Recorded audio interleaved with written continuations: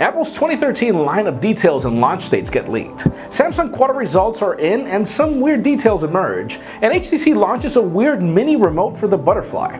I'm Jaime Rivera, and the last thing we need is a phone for our phones. This is Pocketnow Daily.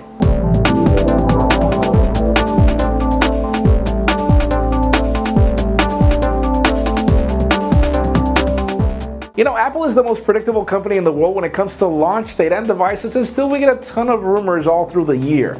It was speculated that the iPad mini twin that the iPad 5 would be launched in spring, but new rumors have it that it will be launched in the fall, and it makes a lot of sense. Now, interesting enough, the iPad mini 2 will include a Retina display, duh, but apparently the iPad 5 will look exactly like the iPad mini, even with the fact that it doesn't have a bezel on the left or the right. When it comes to the iPhone 5s, there are changes. Apparently, they won't leave the launch until the fall, and they will be launching at a WWDC that happens in June, though we don't know what we'll be getting in this iPhone 5S. And then when it comes to that iPhone Math or iPhone Plus that people were talking about, well, apparently that device is just a prototype and it won't see the light of day. Samsung, on the other hand, posted their quarter results to some staggering numbers. 63.7 million smartphones were sold, but we know they dilute their Galaxy brand a lot with low-end and higher-end smartphones, so it's hard to tell which of these were the Galaxy S3, but we do know that it had a lot to do with that. But the interesting point here is that their CEO just came on record to state that apparently sales will decline in the next coming months, and it makes you wonder why would that happen. In our opinion, well, the Galaxy S4 is just around the corner, so it only makes sense that their current 29% market share will remain stagnant until the Galaxy S4 reaches stores.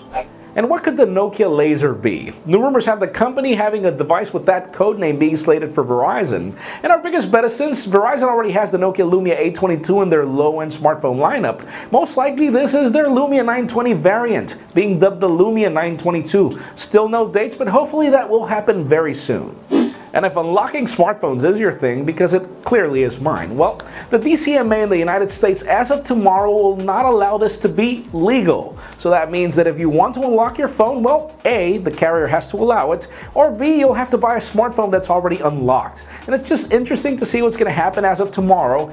In the past, it was really easy to find ways to unlock your phone anyway, so I'm sure that everybody will figure that out. Probably prices will go up, but still, it'll most likely continue happening, so just a word of warning for those that rely on it.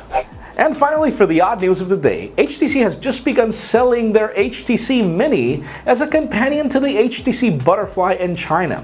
And the point of this device is that it connects to your Butterfly, which is the DNA in the United States, through Bluetooth or NFC, and it's pretty much a remote that controls everything in your phone from text messages to making and receiving phone calls to actually even serving as a camera shutter. And it makes all the sense of the world if you think of it in, well, emerging countries where theft is probably an issue, and you'd love for that Mini to be stolen and not your butterfly. But that leads me to the question of the day. What purpose would you have for a phone that pretty much serves as a phone for your phone. It's like a companion. It makes all the sense to me for tablets, for example. There are certain tablets that have data capabilities and could allow you to make phone calls with those data plans, but still, would you need an HTC Mini?